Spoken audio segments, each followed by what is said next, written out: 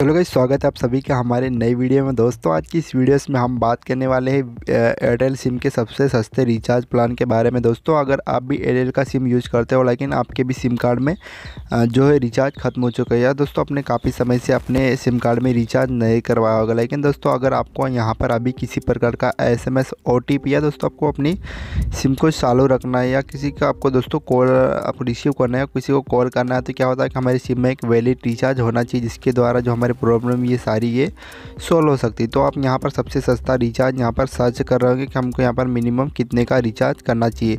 तो दोस्तों यहाँ पर एयरटेल सिम में काफ़ी सौ से का, नीचे काफ़ी रिचार्ज हमको देखने को मिलती है, जो कि दोस्तों यहाँ पर काफ़ी लोग बिना सोचे समझे इन रिचार्ज को बिना जाने कर लेते हैं, जिन, जिससे क्या होता है कि उनका पैसा जो वेस्ट चला जाता है। जैसे कि यहाँ पर 99 का रिचार्ज प्लान यहाँ हम, हमको यहाँ पर देखने को मिलता है।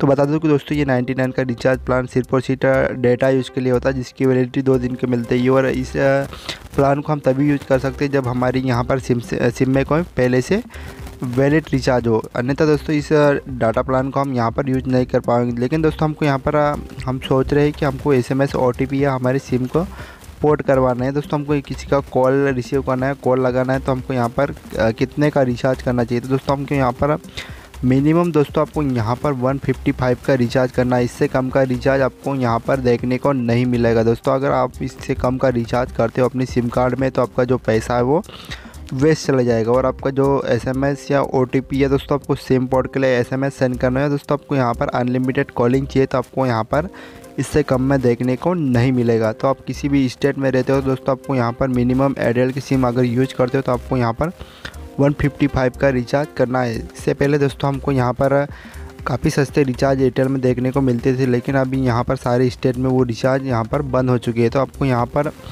मिनिमम आपको 155 का रिचार्ज करना है। इसमें आपको दोस्तों एक जी डेटा देखने को मिलता है साथ साथ इसमें अनलिमिटेड कॉलिंग के साथ में तीन सौ एस एम एस आपको मिल जाता है, जिसके द्वारा दोस्तों आपकी जो भी प्रॉब्लम जैसे calling S M S O T P की या सिम पोर्ट की आ रही है, यहाँ पर सारी प्रॉब्लम सॉल्व हो जाएगी। तो आशा करता हूँ दोस्तों आज का ये छोटा सा वीडियो पसंद आएगा। दोस्तों वीडियो पसंद है तो वीडियो को लाइक ज़रूर कर देना और चैनल पर पहली बार तो चैनल को सब्सक्राइब ज़रूर कर लेना। थैंक यू सो मच मिलता है ऐसे नेक्स्ट इंटरेस्टिंग वीडियो के साथ में। जय हिंद।